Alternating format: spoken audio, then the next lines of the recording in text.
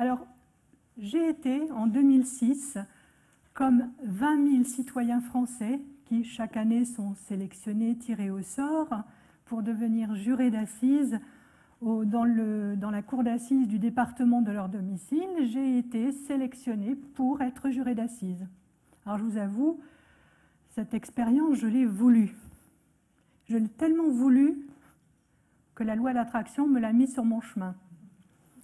En 1988, j'étais étudiante en droit et il y avait euh, un cours, le droit pénal spécial, et je me suis dit, qu'est-ce que ce serait bien de pouvoir un jour être dans les coulisses d'une cour d'assises? Ça y est, 2006 est arrivé, j'y étais. Aujourd'hui, mon intention, ça, ça n'est pas de vous expliquer comment on est euh, désigné juré d'assises. Aujourd'hui, mon intention, c'est de vous faire partager et vivre une affaire, une seule, celle qui m'a vraiment marquée celle qui illustre très très bien le thème d'aujourd'hui qui est le doute. Parce que c'est une affaire qui me permettait d'aller du doute vers la conviction. C'est ce qu'on demande à un juré d'assises. Et donc le procès commence le matin à 8h30. Les jurés qui, euh, qui vont être tirés au sort pour l'affaire sont présents dans la salle. On commence par décliner l'identité de l'accusé et on commence à tirer au sort les jurés qui vont siéger durant tout le procès. On entend le numéro, le nom, les jurés se lèvent, se dirigent vers la place qui est désignée par l'huissier de justice, sous réserve qu'ils ne soient pas récusés, bien entendu. Et une fois installés, eh bien, il faut prêter serment. Et c'est euh, un texte qui, euh, qui, en dit long sur euh, ce qu'on attend vraiment du juré d'assises. Et le procureur de la République, le président de la cour d'assises lit le texte sur lequel les jurés devront prêter serment. On va le lire ensemble. Vous jurez d'examiner avec l'attention la plus scrupuleuse les charges qui seront portées contre l'accusé, de ne trahir ni les intérêts de l'accusé, ni ceux de la société qui l'accuse, ni ceux de la victime, et de communiquer avec personne jusqu'après votre déclaration, de n'écouter ni la haine ou la méchanceté, ni la crainte ou l'affection, de vous rappeler que l'accusé est présumé innocent et que le doute doit lui profiter. Vous décidez d'après les charges et les moyens de défense suivant votre conscience et votre intime conviction, avec l'impartialité et la fermeté qui conviennent à un homme probe, libre, et de conserver les secrets de délibération même après la cessation de vos fonctions. Nous répondons en levant la main droite, je le jure. Le procès commence, c'est un procès qui va durer quatre jours, donc quatre jours de concentration. Cette concentration commence déjà par la lecture de l'ordonnance de mise en accusation. Et là, nous comprenons que c'est une affaire pénible, pénible parce que c'est un double parricide. Et le parricide, c'est le fait pour une personne d'avoir tué son père ou sa mère.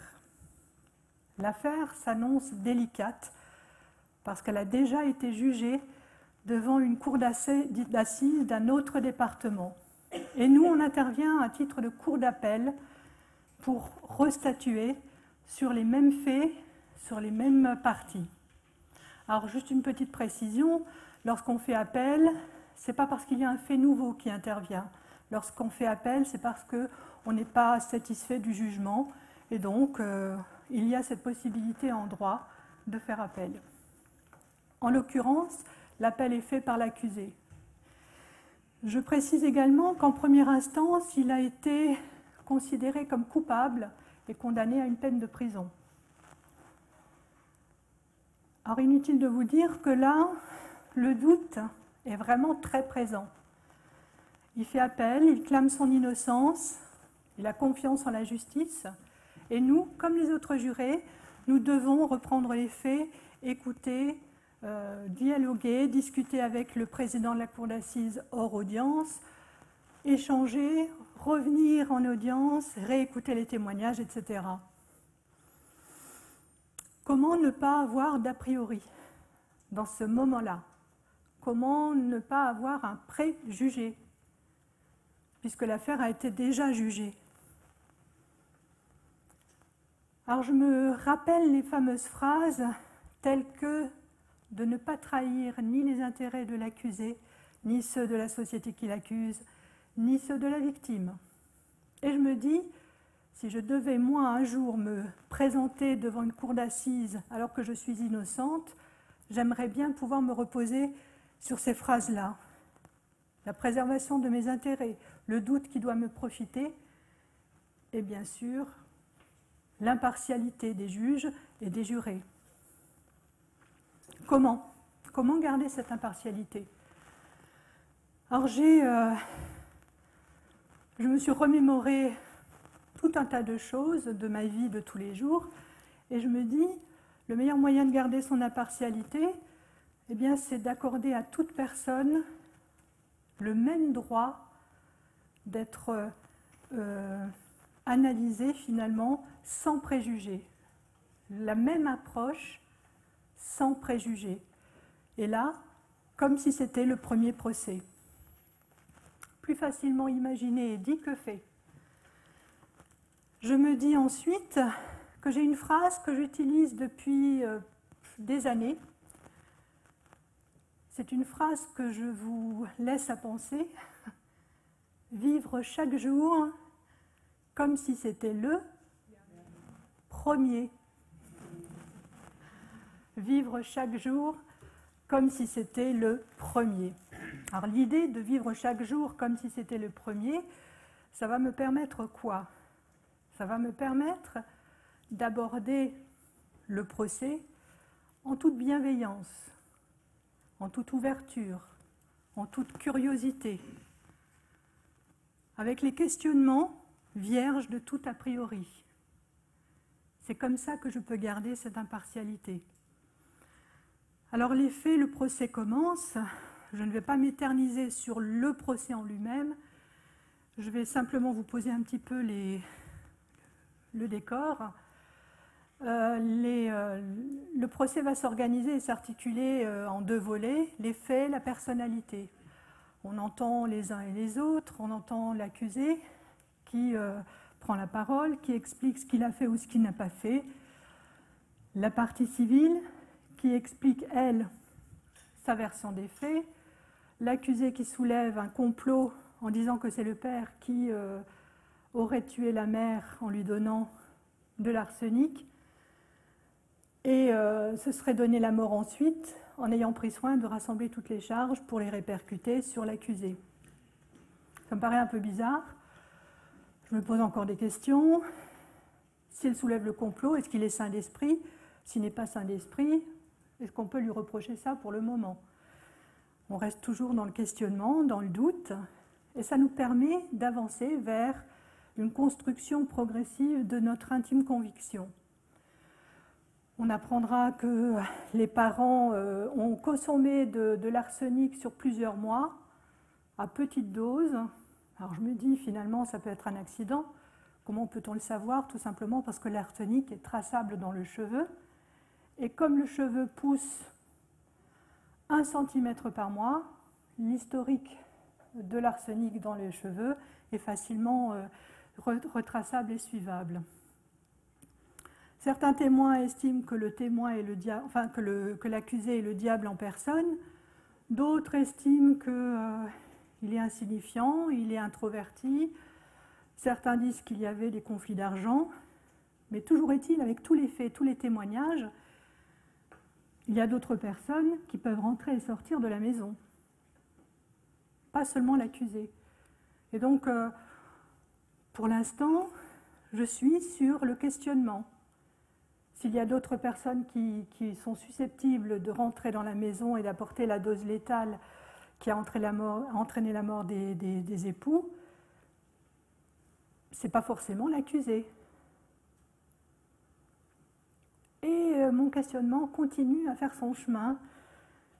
Les doutes, euh, au fur et à mesure, euh, commencent à s'ébranler, mais j'ai encore des doutes. Le procès prend fin. Les réquisitoires sont en place.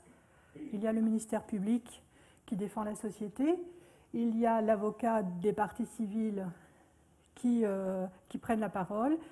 Et finalement, il y a l'avocat de la défense qui lui aussi termine les réquisitoires et prend la parole. À ce moment-là, j'ai une idée. Je relâche un peu la pression avec d'autres jurés, mais il ne faut pas, parce que je pense qu'il y a des sportifs dans la salle et ils seront d'accord pour dire que tant que le match, n'est pas joué, tant que le coup de sifflet final n'a pas retenti. Et cette phrase est très juste parce que je vais vous l'expliquer pourquoi. Le président de la cour d'assises se tourne vers l'accusé, prononce cette fameuse phrase Accusé, levez-vous. Avez-vous quelque chose à rajouter pour votre défense? C'est un, moment qui est euh, considéré comme une terreur pour l'avocat de la défense. Parce que cette intervention, c'est la dernière de toutes les interventions.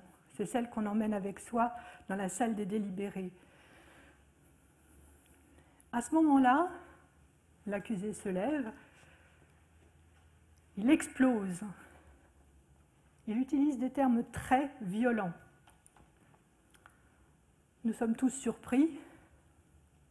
Et là, mon intime conviction chamboule. Et je me dis, c'est vrai, tant que rien n'est joué, tant que le, coup de sifflet final n'a pas retenti, le match n'est pas terminé. Nous allons dans la salle des délibérés avec cette image de, réaction très violente de la part de l'accusé. Le président de la cour d'assises va nous lire un texte. Ce sont les instructions qui sont données aux jurés. Alors je ne vais pas vous lire tout le texte. Je vais simplement attirer votre attention sur les deux dernières lignes. La loi ne leur fait que cette seule question qui renferme toute la mesure de leur devoir. Avez-vous une intime conviction? Avez-vous une intime conviction? Alors bien sûr, j'ai une intime conviction à ce moment-là, justement due à cette violence d'intervention. Cette intime conviction, je l'ai, bâtie, je l'ai construite très rapidement parce que ça, ça me paraissait être une évidence évidente. Cette intime conviction, j'en suis satisfaite parce qu'elle répond à mes valeurs, elle répond à ce qu'on demande aux jurés d'assises, l'impartialité, la bienveillance, l'écoute, jusqu'au bout du procès. Alors oui, le doute, puisque c'est le sujet d'aujourd'hui, le doute a toute sa raison d'être. Parce que ce doute, c'est un partenaire de vie, je dirais, un partenaire de vie parce que c'est réellement un dialogue que l'on peut avoir avec son âme. C'est une conversation avec son âme. C'est une conversation qui nous permet d'évoluer vers les réponses que l'on cherche et que l'on souhaite. Le doute nous permet de savoir, mais le savoir nous oblige aussi à douter et à rester attentif sur tout ce qui nous entoure, à vivre le moment présent, à être dans le moment présent, parce que c'est là la seule réalité que nous avons.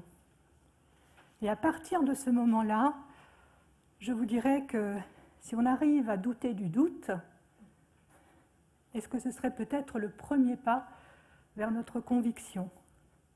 Prenez le doute comme un partenaire.